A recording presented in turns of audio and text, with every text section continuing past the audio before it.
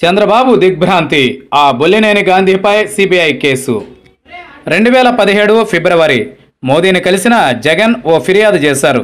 పక్కా TDP సానుభూతి పరులైన assistant director Bollineni Srinivas Gandhi joint director Umashankar Goud ఏళ్ళకేళ్ళుగా ఈడీలో తిష్టవేసి తమను అకారణంగా సతాయిస్తున్నారని తమ ఆస్తుల స్వాధీనం విషయంలోనూ అడ్డదిడ్డంగా కక్ష సాధింపు నిర్ణయాలు తీసుకుంటున్నారని చంద్రబాబు చెప్పినట్టే నడుచుకుంటారని దీన్ని చక్కదిద్దాలని తన ఫిర్యాదు సారాంశం.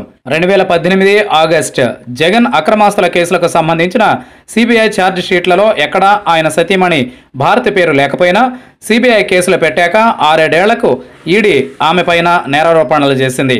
అదేంటయా అంటే జగన్ అక్రమ సొమ్ముకు సంబంధించిన లావాదేవీలను ఇప్పుడు ఆమె చూస్తున్నందున ఆమె కూడా నిందితురాలేనని ఆరోపించింది. అలాంటి బొల్లినేని గాంధీపై ఇప్పుడు సిబిఐ కేసు నమోదు చేసింది. తనకు సంబంధించిన పలు ఆఫీసులు ఇళ్ళల్లో దాడులు సాగుతున్నాయి. చంద్రబాబు తాలూకు విస్తృతమైన డొంకలో ఓ ప్రధానమైన తీగను ఇన్నేళ్ళకు కత్తిరించగలిగాడా మోదీ? ఈ గాంధీ ఎంత శక్తిమంతుడంటే రెండు వేల రెండు నుంచి రెండు వేల పన్నెండు దాకా అంటే పదేళ్ళ పాటు రెవెన్యూ ఇంటెలిజెన్స్లో పనిచేశాడు. చాలా పవర్ఫుల్ విభాగం అది. పదేళ్ళు తిష్ట వేశాడు. అక్కడి నుంచి ఎన్ఫోర్స్మెంట్ డైరెక్టరేట్కు చేరాడు. రెండు వేల పదిహేడు దాకా అక్కడే తిష్ట. తను చెప్పిందే జరిగేది ఈడీ హైదరాబాద్ విభాగంలో. జగన్ ఫిర్యాదు చేశాక ఈడీ నుంచి కదిలించారు తనను. జీఎస్టీలోకి మారాడు. బేగంపేట డివిజన్కు. ఇప్పుడు జీఎస్టీ కూడా పవర్ఫుల్ విభాగం. కొద్ది రోజులు గడవగానే అందులోని కీలకమైన జీఎస్టీ ఎగవేత విభాగంలోకి మారిపోయాడు. అంటే రెండు వేల రెండు నుంచి ఎక్కడున్నా సరే చాలా కీలకమైన విభాగాలు. బోలెడ్ హై ప్రొఫైల్ కేసులు. తను తలుచుకుంటే అవి కోల్డ్ స్టోరేజీలోకి.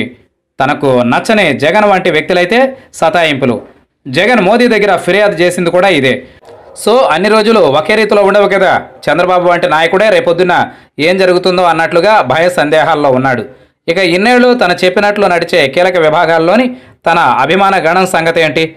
కొద్ది రోజులుగా దేశవ్యాప్తంగా సిబిఐ దాడులు పెద్ద ఎత్తున సాగుతున్నాయి. ఓ పెద్ద డొంకను పెకిలించే పనిలో ఉన్నది ఆ దర్యాప్తు సంస్థ. అందులో భాగంగానే బొల్లినేని గాంధీ దొరికిపోయాడా? లేక ఇది సెపరేట్ కేసా? తెలియదు కానీ ఉన్నతాధికారి వర్గాల్లో పొలిటికల్ సర్కిళ్ళలో బొల్లినేనిపై సిబిఐ కేసు అనేది ఓ సంచలనం ఓ కలకలం. ఇది ఇక్కడితో ఆగిపోతుందా? సిబిఐ జాబితాలో ఇంకా ఎవరెవరు ఉన్నారు చూడాల్సిందే ఇక.